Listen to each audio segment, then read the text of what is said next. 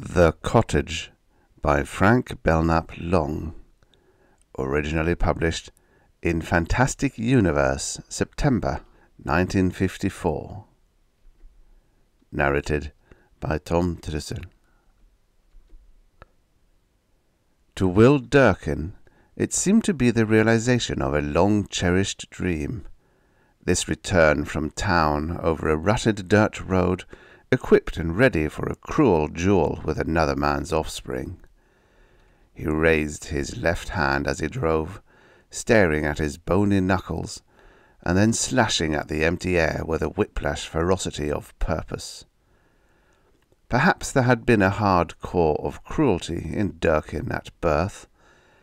Perhaps he had knotted up his fists and cried out in resentment on first seeing the sunlight, eager to hurt and punish. It was difficult to say, difficult to be sure.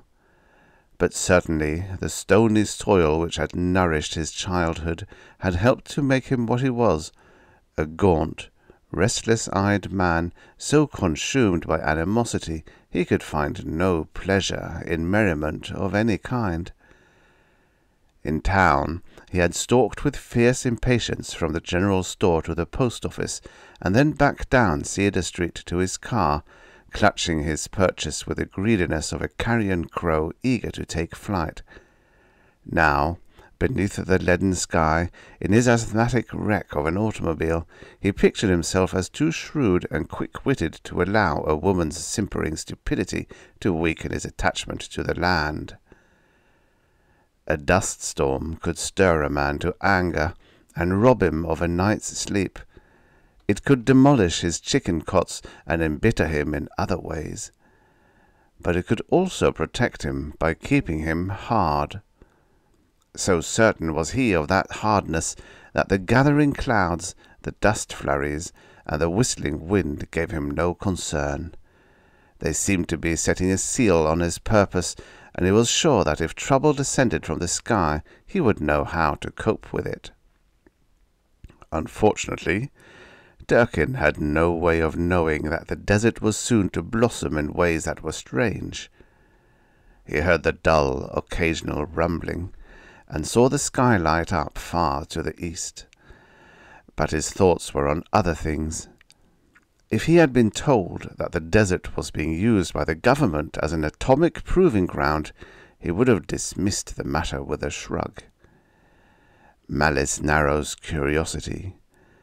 In the back seat of the creaking car, a small white cottage caught and held the leaden sky glow, its tiny windows gleaming like uncut jewels. A man of wide and kindly sympathies would have taken delight in the cottage, for though it was a cheap toy, it had been built with great respect for the critical eye of childhood. It had eight rooms, a porch trellis, and a little golden weathercock on its roof. Durkin smiled spitefully, remembering with grim pleasure the child training article in the popular science magazine which had sent him into town in search of an inexpensive dollhouse. The article had contained a great deal of meat, and its impact upon his mind had been remarkably direct. Give a kid a dollhouse with a mother and father doll inside, and you could find out exactly what he thought of his parents. He'd move the dolls around and work out his private grudges on them. He'd pretend the dolls were his real parents and act out what the article had called the family drama. Yeah, why not?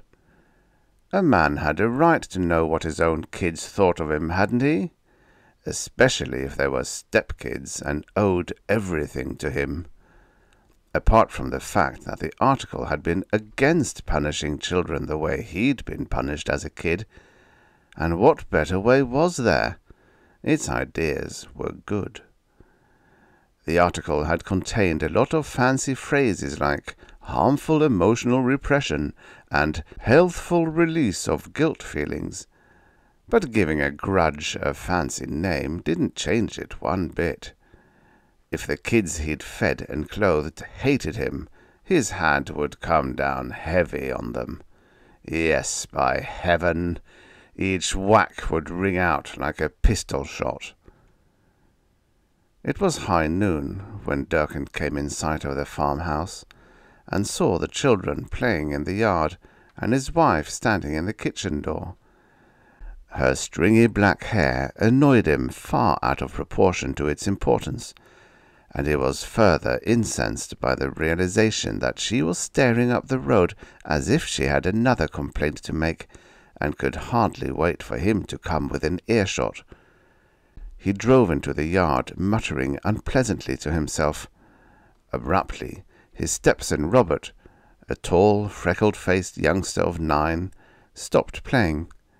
Seven-year-old Emily, thoughtful-eyed and less assertive, remained seated, but Durkin could see that there was a defiant something struggling in her head. The ritual of mistrust they'd worked out against him never varied. As he descended from the car, he became aware of a hostile silence hemming him in, making him feel like a stranger. Even their expressions betrayed them. The instant fear came into Robert's eyes. Emily, too, became fearful, clutching the doll she was holding more tightly to her breast. Flushed and resentful, Durkin stood waiting for his wife to advance toward him across the yard. She had been beautiful once, but she now only reminded him of a nag set out to pasture after years of usefulness about the farm. She was as handy about the farm as she was about a stove, but that didn't mean he had to be grateful to her. He'd taken her in and married her, hadn't he? A woman of forty with two kids, a complaining woman who was always trying to meddle in his affairs. You're back early, Will, Helen Durkin said. Yeah, he grunted, eyeing her bitterly. Did you buy the fertilizer? And the barbed wire? He shook his head, his lips writhing back from his teeth in cruel derision. I bought something better, he said. His voice was harsh, edged with mockery. A present for the kids. Durkin reached into the car as he spoke and hauled out the dollhouse. He set it down on the stony soil directly in front of him and folded his arms, his eyes darting toward his stepson in surly challenge. Come here, Robbie, he called out. Look what I've got for you. Robert scrambled to his feet with a startled gasp, and Emily turned to look at her mother in bewilderment. Durkin glanced triumphantly at his wife, stepped back, and waited for the children to approach. Robert came forward slowly, stark incredulity in his stare. His sister followed at a less cautious pace, her fear swallowed up by the miracle that had taken place before her very eyes. Robert spoke first. Golly, it's a little house. A doll house, Emily elaborated, falling to her knees and staring in through the diamond-bright windows at a sight that made her catch her breath. In a room on the ground floor, four dolls sat at a circular table. Before each was a knife and fork, a tiny plate, and a double serving of wax vegetables. The husband doll wore a stiff, ill-fitting store suit, the wife a checkered gingham dress, and the two children blue denim overalls. The parents were wooden dolls, but Durkin had been forced to purchase the children separately and insert them in the house. The children were made of some new-fangled plastic material which Durkin intensely disliked. But very lifelike dolls they were, and just the right size to lend wings to the illusion of a happy family about to break bread together. That's me! Emily cried excitedly. She raised a window, reached inside, and lifted herself out. The doll had dark hair and brown eyes and Emily was an ash blonde. But childhood is not a time for carping, and it had been well established that a completely unspoiled imagination can be sent soaring by a fancied resemblance in the twinkling of an eye. That's me, isn't it, Mummy? Emily insisted. Isn't it? She displayed the doll proudly to her mother, her eyes shining with unshakable conviction. Yes, dear, of course. Helen Durkin glanced sharply at her husband as she spoke. The look in his eyes frightened her. There was satisfaction in his stare, but it was a cold, derisive kind of satisfaction with no warmth or sympathy radiating out from it. He was watching Emily as he might have watched a hummingbird hovering over a cannibal plant, one of those horrible flytrap things that grew in tropical jungles. What chance would the hummingbird have against the sudden cruel closing of the plant's spiked petals, its animal-like ferocity of purpose? An overpowering surge of terror swept over Durkin's wife, tightening the muscles of her throat. Will, don't! she wanted to scream. Don't punish the children because you hate me, or because you hate yourself. Don't, Will, please.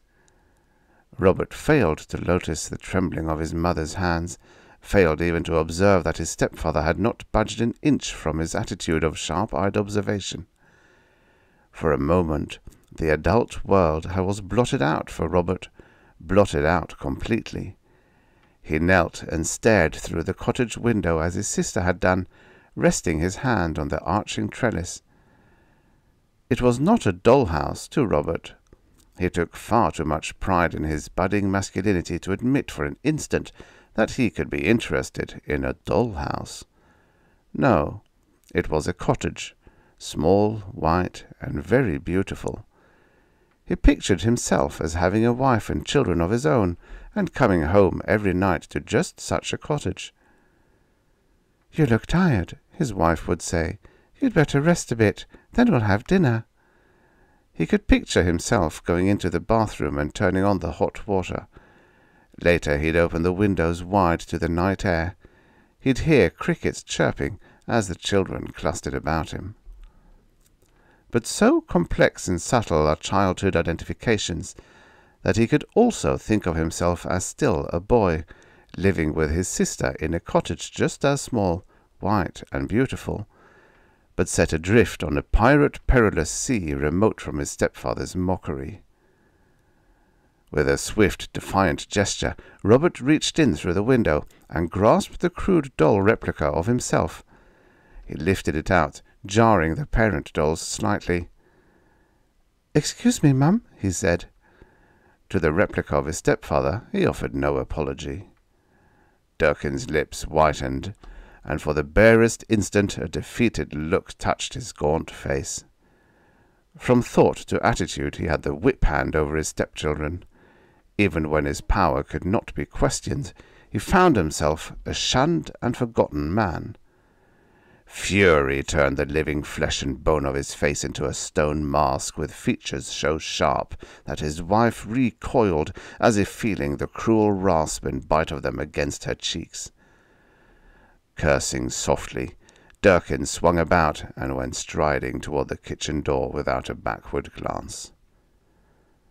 All through dinner he was silent, completely ignoring his wife, and raising his eyes only to stare out the kitchen window at the bare yellow earth he could at least bend to his will.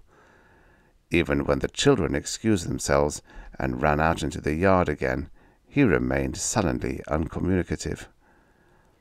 In an attempt to make conversation, Helen Durkin said, Well, it came over the radio right after you left. They're making some more of those atomic weapon tests. Remember the last time? how the explosion shook the house? So that's where the flash came from, Durkin muttered. I saw it when I stopped at the gas station to get my battery checked. I figured it was just heat lightning. Robbie saw it too, Robert's mother said. It means a lot to a boy to know he's living in an age like this. In some ways, Robbie is a man already, Will. A boy born a hundred years ago had to remain a child every waking hour but not Robbie. Robbie was born into a different kind of world. Her eyes flashed with stubborn pride. Robbie has real strength inside of him, Will. He'll make a mark for himself in the world. He'll grow up knowing what atomic energy means. He won't age and dry up before his time. You ought to be proud of him, Will. Abruptly, Durkin pushed back his chair and stood up, his eyes grown sharp again from watching the children playing in the yard. He had avoided looking at his wife, but now he permitted his gaze to linger for an instant on her pinched and sallow features in a scrutiny so mocking it made her almost physically ill. Your brats hate me, his eyes mocked. One of these days I'll catch them off guard and give them a lesson in discipline they won't forget in a hurry. She knew what he was waiting for. He was hoping they'd stop playing just long enough to cast a look toward the kitchen door filled with unmistakable hate. He was hoping to emerge beneath the darkening sky and see Emily turn away her head, remembering the loving father she had lost and the harsh, unbending man who had come to take his place. She knew that he was waiting only for that. He was the kind of man who had to have an excuse to justify his every act of cruelty. Some oddity in his make-up made self-justification as necessary to him as breathing. With a chill foreboding, she watched him turn and go striding out into the yard. The children had been kneeling on opposite sides of the dollhouse, but they got up the instant they saw their stepfather approaching. Robert looked guilty and his sister's face mirrored his guilt. You ate your lunch mighty fast, Durkin said. What's going on here? Nothing, Robert said. What kind of answer is that? Durkin demanded, his face turning ugly. We were just playing house, Emily said quickly. Then why did you get up so fast when you saw me? Durkin asked. Is there something in that house you don't want me to see? Robert shook his head, his eyes on the ground. Speak up. I asked you a question. We were just pretending, Robert said. For an instant, the man and the two children stood with the dollhouse between them. They were each aware that they had started a game that must be played out now to the bitter end, no matter how frightening it became. We'll soon know, Durkin said. Durkin bent swiftly, and without glancing at the children, picked up the house and raised it until the ground floor windows were on a level with his eyes. He stared in. Children do not self-consciously engage in gruesome pranks, even when they hate. Emotional impulses, which later in life are filtered through reason and become social attitudes, remain in children appallingly direct. Children are thus exposed to adult censure for acts which they would never dream of performing in a frame of reference removed from the playground and tied in with their socially consolidated attitudes of respect toward home, school, and parents. Children chalk up sidewalks, ring doorbells, and throw stones at windows and are almost instantly sorry. Durkin knew nothing of that. He only saw himself sitting on a red-hot stove, his long legs drawn up grasshopper fashion on both sides of his lank body. What was even more shocking, he saw himself as a fiend incarnate. The children had done an astonishingly ingenious job of making a devil out of him by painting him in the darkest colours imaginable. In fact, they had painted him black. The ill-fitting store suit had been removed, and with the aid of Emily's watercolour set and Robert's clay modelling set, he had been made to resemble a demon being roasted over a spit. Utterly fiendish was his charcoal dark aspect of face and limb. Horns sprouted from his temples, and a long forked tail, ash grey in hue, coiled down over the stove like some evil brand snatched from the burning. There were tiny gleaming coals in the stove, fashioned of red isinglass. The stove had gone with the house, but by the matchless artistry of childhood something new had been added, and as Durkin stared all of the colour drained from his face. He was sitting directly over the coals, exposed to the cruelly searing blast in every part of his anatomy. For an instant the illusion of searing heat was so real that he responded psychosomatically. His nostrils dilated with the odor of burning flesh, and his nerve roots shrieked as if irradiated by intolerable pain. Then reality came sweeping back. Instead of an imaginary projection of himself, he saw only a ridiculous wooden doll sprawled akimbo on a toy stove. Shaking with rage, Durkin set the house down, swung about, and gripped his stepson savagely by the wrist. Just pretending, were you? he muttered.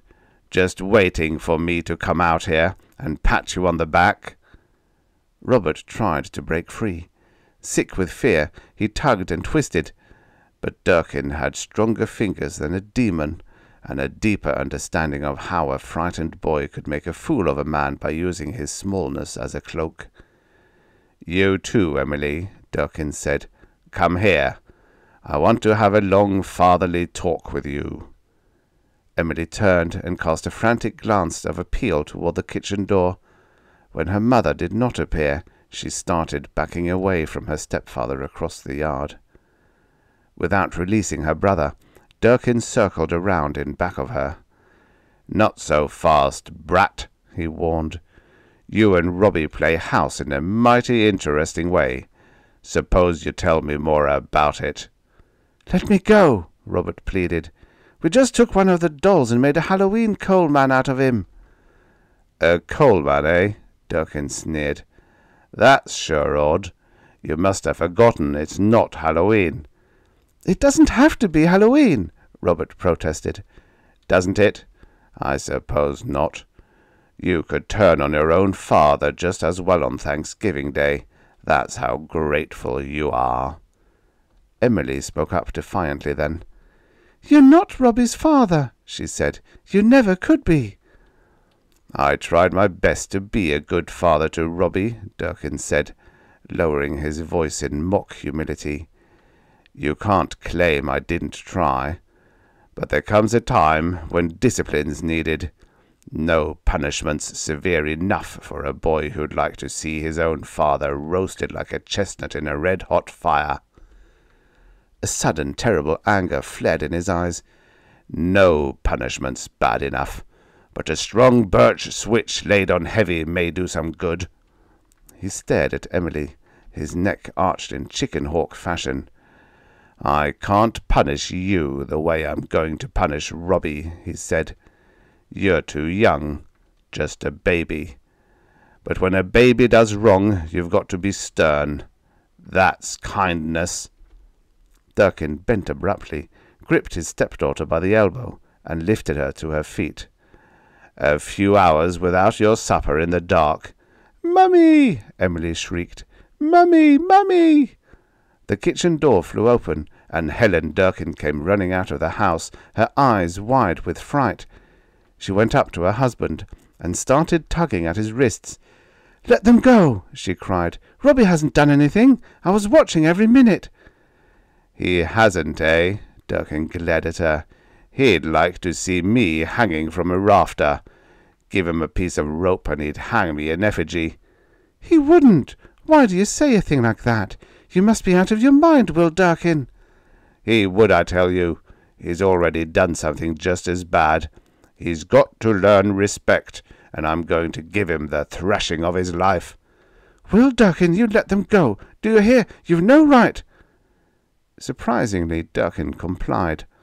He released both children and turned his full fury on his wife.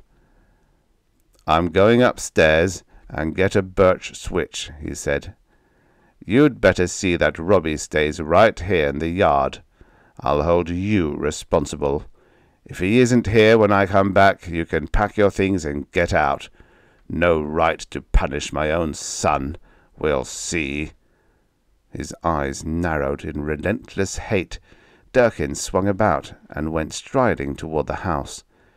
Despite his rage, he experienced a fierce secret gratification in knowing he had had the foresight to cut and trim a stout birch switch well in advance.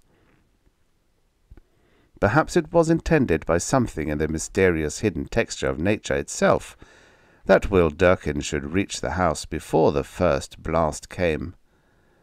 Perhaps fury kindled and unleashed by a puny man in a moment of cataclysmic upheaval had an energy pattern of its own, capable of blending with that greater violence and carrying its victim to disaster, precisely as a tiny squirming creature of the sea might be lifted up and carried on the back of a terrified tortoise.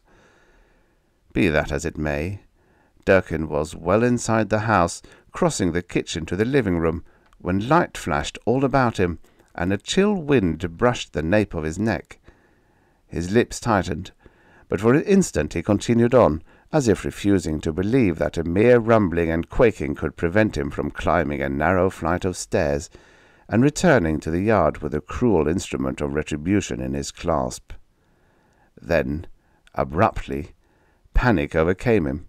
Shock after shock shook the house, jarring up through him, threatening to pitch him off his feet. But even as he swung about in wild terror, he could not quite relinquish what he had set out to do. One part of his mind remained filled with choking rage, and his hands were busy at his waist, unbuckling his cowhide belt and ripping it free. At least he'd give his stepson a hiding. Suddenly, through the kitchen door, he caught a brief glimpse of the children, standing in the yard. They were clinging to their mother, but they were as yet untouched by the violence which was raging all about them. Durkin's jaw fell open. The violence increased with appalling suddenness, breaking every window in the house, filling the kitchen with blowing dust. With a deafening roar, the house vanished, carrying Durkin with it. The children cried out in bewilderment and fright, and pressed closer to their mother. In every upheaval, no matter how violent, there may well be pockets of erratically channeled calm, regions of security which remain untouched by the turbulence surrounding them.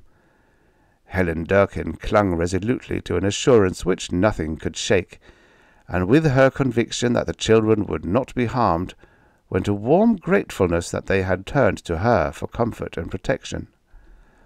She stood staring straight ahead, refusing to be dismayed, hearing only a dreadful humming sound which gradually died away.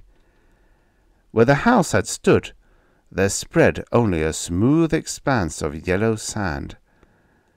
The whirling was like nothing Durkin had ever known before. It constricted his chest, blurred his vision, and drove the blood in torrents from his heart.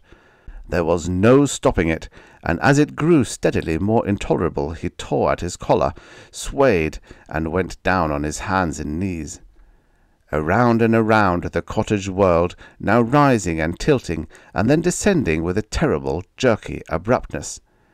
Twice he tried to rise, but fell back helpless, powerless to save himself from the spineless inertia that sent him spinning to and fro like some ill-made, rain-sodden scarecrow dragged in disgust from a cornfield and tossed into a butter-churning machine. In one respect only was Durkin fortunate. His torment though great and almost unendurable, was not absolutely continuous. There were moments when the cottage seemed to hover motionless in mid-air, or to drift lazily in a single direction with a buoyancy as light as thistledown.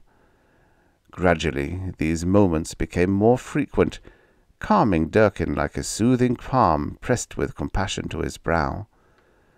More and more frequent, until the merciless buffetings and swift, sickening descents ceased completely, and a light that was bright, clear, and steady streamed in through the kitchen window, and somewhere off in the distance a snowy crested bird burst into song.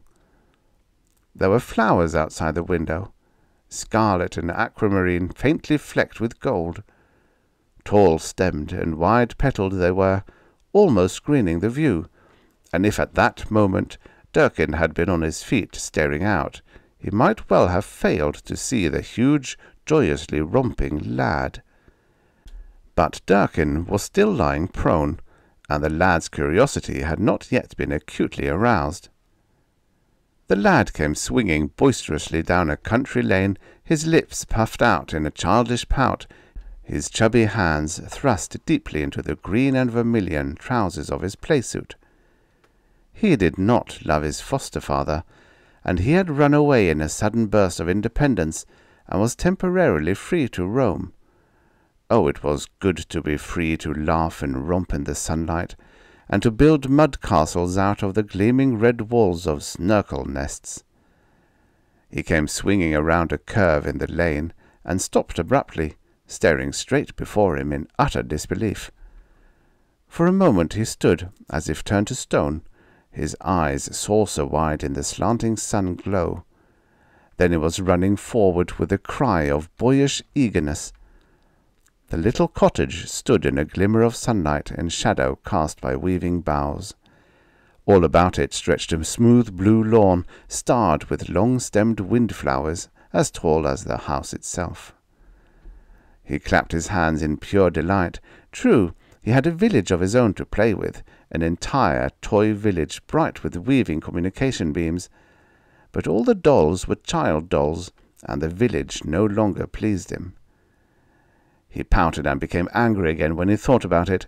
His foster father did not want him to play with grown-up dolls. His foster father was an old meanie, and he didn't want him to have any fun. He was hovering directly over the house now, straddling it. He reached down with a chuckle of delight and poked at the little red chimney with a stubby forefinger, beaming in simple pleasure as four tiny bricks tumbled out on the roof. Then he bent over and stared with a puzzled frown at the smashed windows. A moment later he was squatting before the house, peeking in.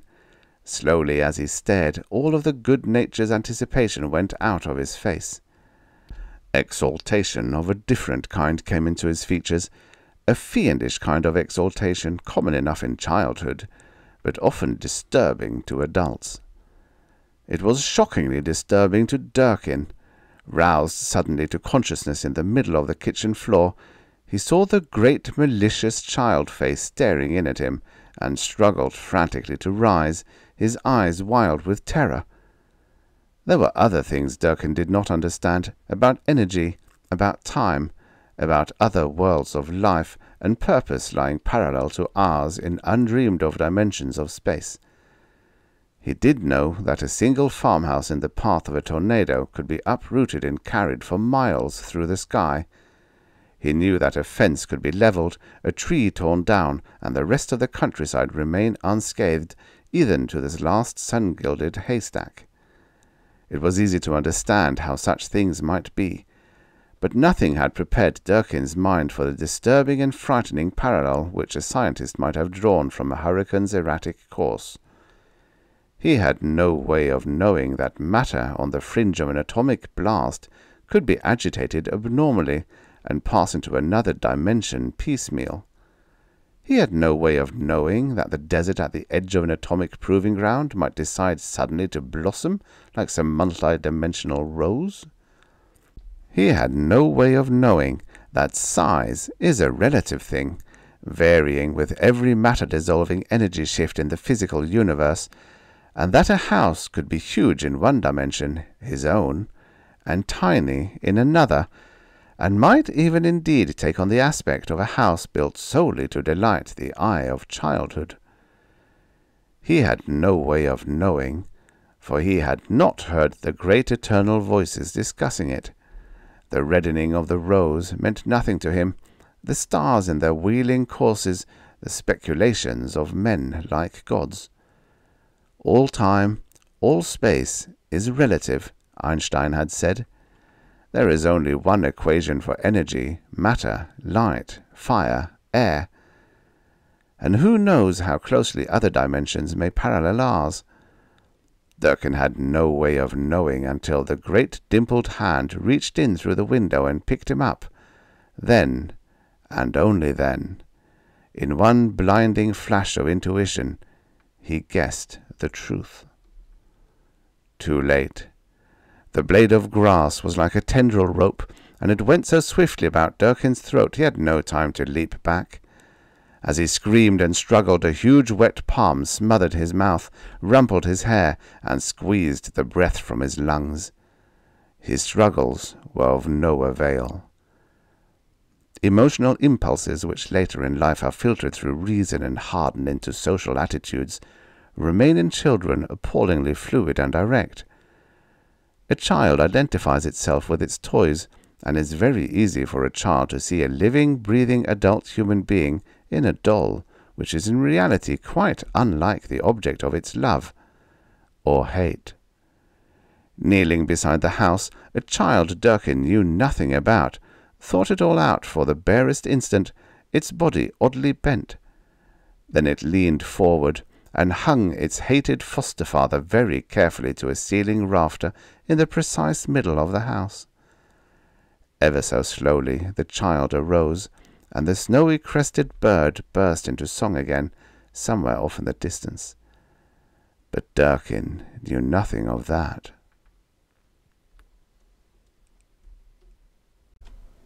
The End. Subscribe for your daily stories of futures past. Come on, you know you want to.